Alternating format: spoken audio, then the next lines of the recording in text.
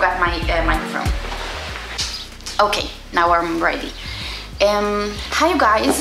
It's me, Noah from Tata Sol, and I haven't been on my channel for a while because I had a baby and stuff happened, stuff happened, and you know how it is.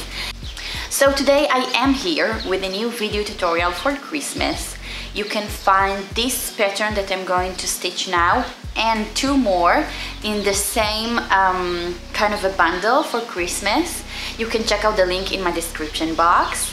Um, I'm afraid that all the embroidery kits for Christmas are sold out, um, but you can't order, but you can order uh, the patterns and do it at home. So without further ado, let's start stitching. Okay, so let's get everything we need. We need the fabric, mine is already printed like you get in the embroidery kit. I have my scissors, soon you will see my threads, and this is my hoop. I'm stitching with a mini hoop. The size is 3 inches or 8 centimeters. And you just apply your fabric between the hoops and tight the screw above. You can also um, tie the fabric all around and stretch it really good. It's easier to stitch when your fabric is stretched.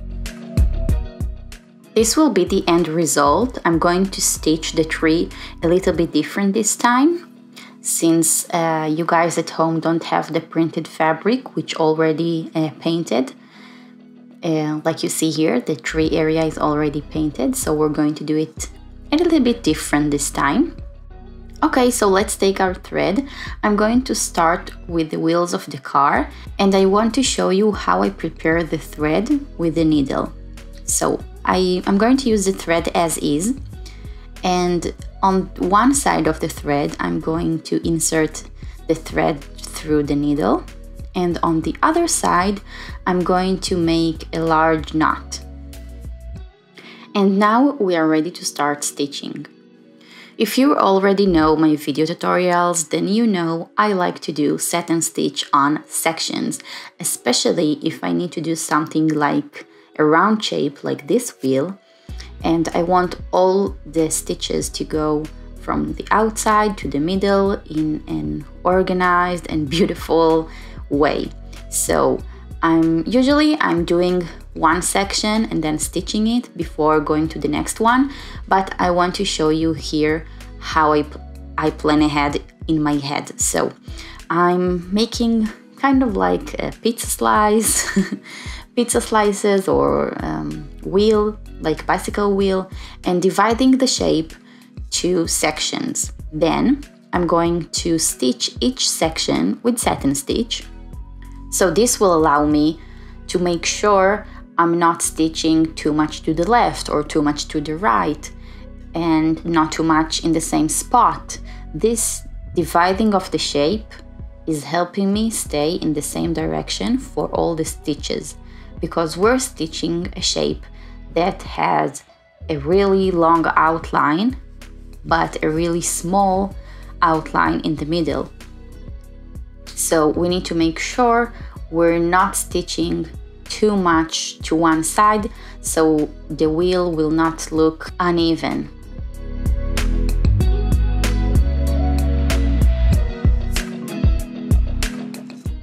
Once you're done stitching, I want to show you how I close the thread, how I finish the stitch. So put your hoop upside down and then you can do it with a needle or without. I'm doing it now without because the thread was too small and just make a very small knot very very close to the fabric. You can also add uh, another knot if you want to and uh, and just snip the excess of the thread off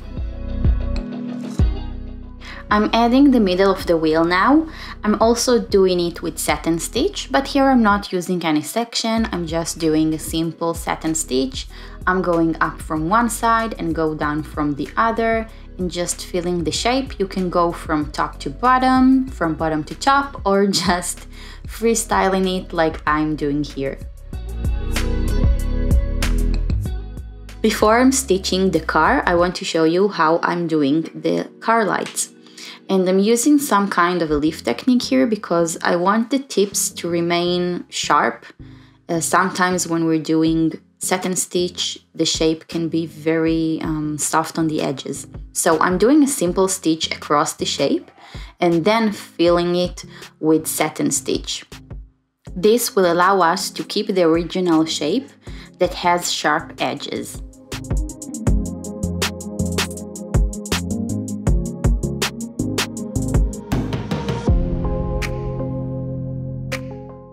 Next thing I'm going to stitch before stitching the car is doing the windows. I'm using the same color I used for the inside of the wheels and I'm using satin stitch again.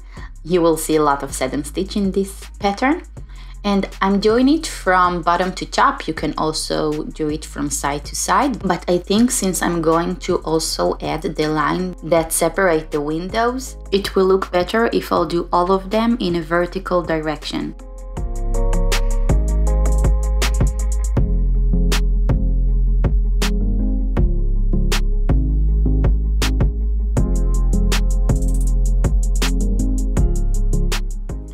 Okay, so it's time to finally stitch the car. And when I'm stitching satin stitch, I usually start with the end or the beginning of the shape. But here you see me a couple of times start from the middle. I think it's just because I don't like um, to stitch the end of the shape first when it has very small curve or very small end. I think it's better to start a centimeter or half an inch inside the shape and then go outside towards um, the smaller part of the shape and then keep going from the middle uh, part that we already started stitching. I hope that makes sense. Um, it's just because sometimes the end of the shape can be a little uh, tricky to stitch because you can see it in all the elements in this design. We want to maintain the shape and sometimes with these long stitches the shape can be a little distorted when we're stitching with long lines and the shape has a small curve or a pointy edge.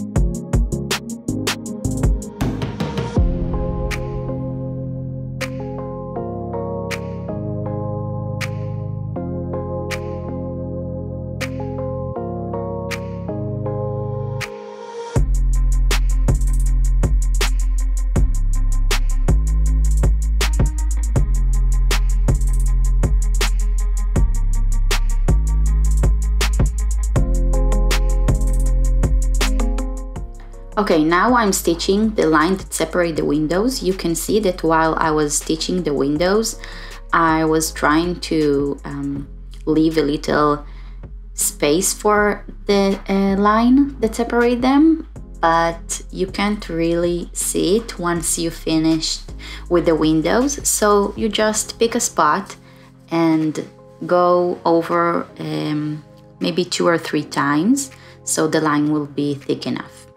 And now I'm stitching uh, the rest of the car from the top. Now I'm stitching it with a little bit of an angle like I was like I was doing to the wheel. I recommend you do it also in sections. I like to use sections almost every time I'm doing satin stitch because again it just helps me stay in the same direction of the thread and fill the shape in an even way.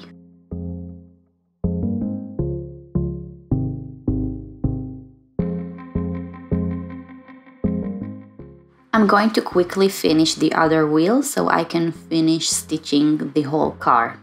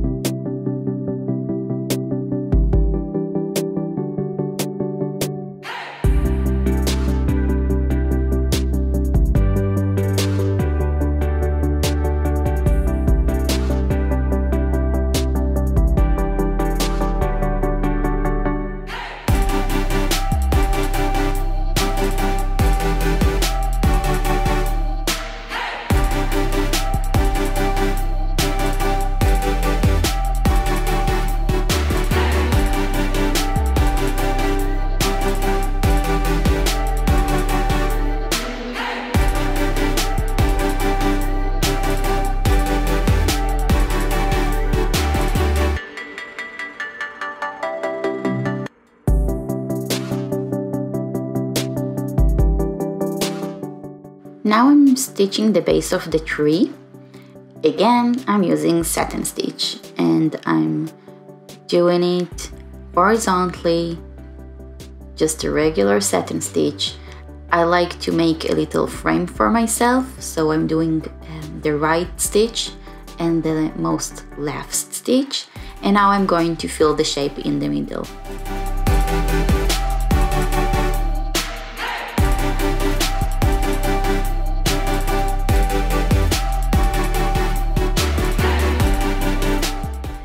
So I picked out the colors for my Christmas lights and I grabbed my scissor to help me. By the way, you can find those scissors and more embroidery supplies in my shop. I have a new section called Embroidery Supplies and you can find those beautiful scissors there. And if you subscribe to my newsletter, you might get special deals um, for embroidery kits and patterns and, and also for the supplies. So go check it out and I'm continuing with the pattern now. I'm stitching the Christmas lights with French knots. I love doing French knots. It's so cute. Um, it's simple once you get the hang of it. I have a specific video for how to stitch French knots and I'm going to add it in the description of this video. But let me give you a quick tutorial.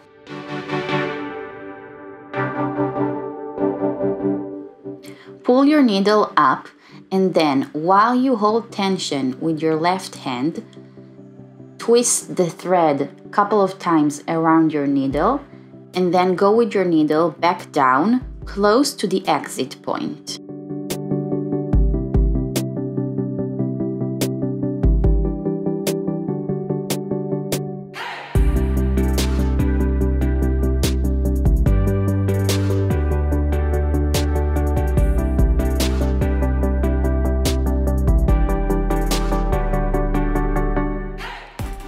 Okay, now I'm going to do the tree and I decided to stitch it with long and short stitches, which is kind of filling the shape with satin stitch, but I'm not going um, all the way from side to side.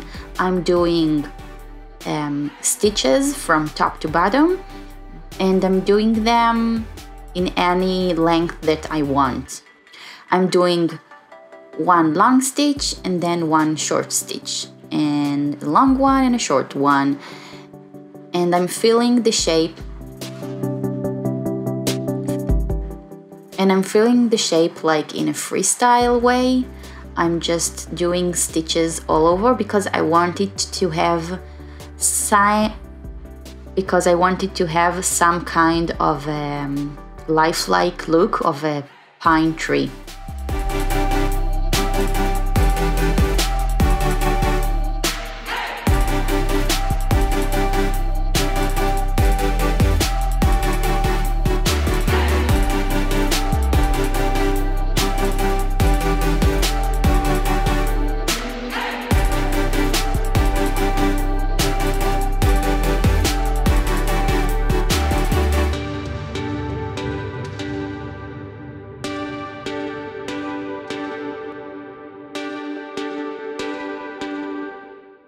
Last thing to do is the light string and I'm using backstitch for that.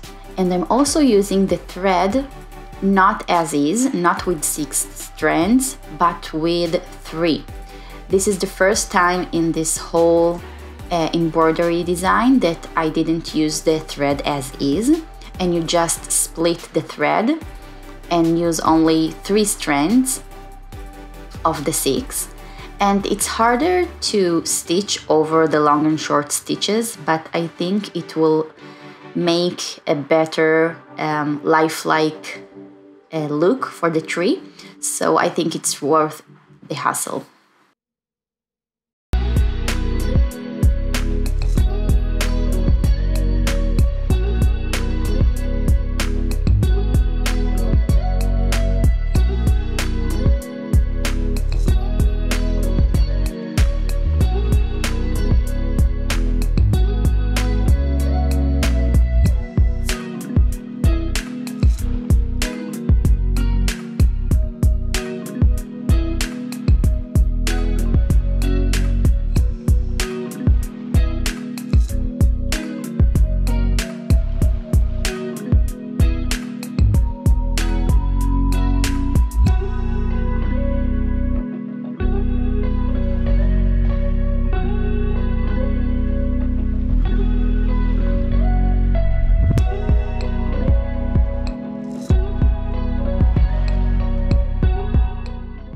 Okay guys, thank you so much for watching the video and stitching with me if you did.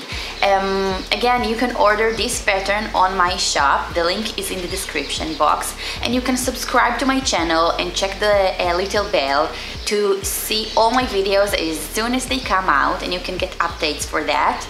And happy holidays, happy Hanukkah, happy Christmas. Love you guys, see you in the next video. Bye!